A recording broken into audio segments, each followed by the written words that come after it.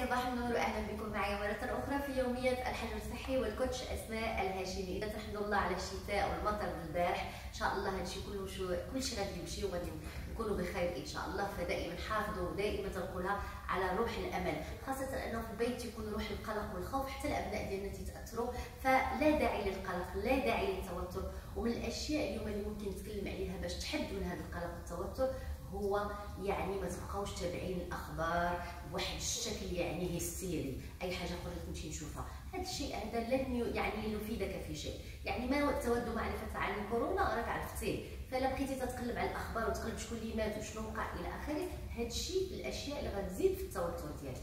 نشوف الأخبار نشوف الأرقام باش نكون طبعا نتبع الأحداث. لكن مرة واحدة في اليوم أو مرتين في اليوم على أكثر نشوف الأرقام بدون ما نبقى داخل في ديك يعني الدوامه ديال الأخبار السيئة اللي غادي تطلع القلق ديالي وغتطلع التوتر ديالي وبالتالي غتنقصني المناعه ديالي. راه الناس يعني الانتظار أو أو الخوف أكثر من المرض نفسه. فكونوا على يقين بأنه ضروري ومؤكد أنه يعني الطاقة ديالي نوجهها لأشياء أخرى نحاول نلقى هذه الفرصة باش أنني ندير أشياء مفيدة. كانت نصيحه اليوم مع الكوتش أسماء وموعدنا غدا إن شاء الله.